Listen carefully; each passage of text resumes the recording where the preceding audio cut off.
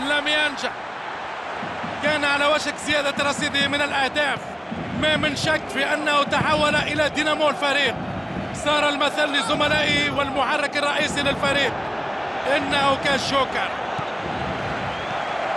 ريال مدريد كان في مهب الريح لكن الدفاع تصدى بأريحية هذه كرة غدارة. وحظ الفريق جنبه المرارة. ها هو نيمار. يحاول لعب كرة بينية غدارة. نيمار! هذه كرة في الشباك!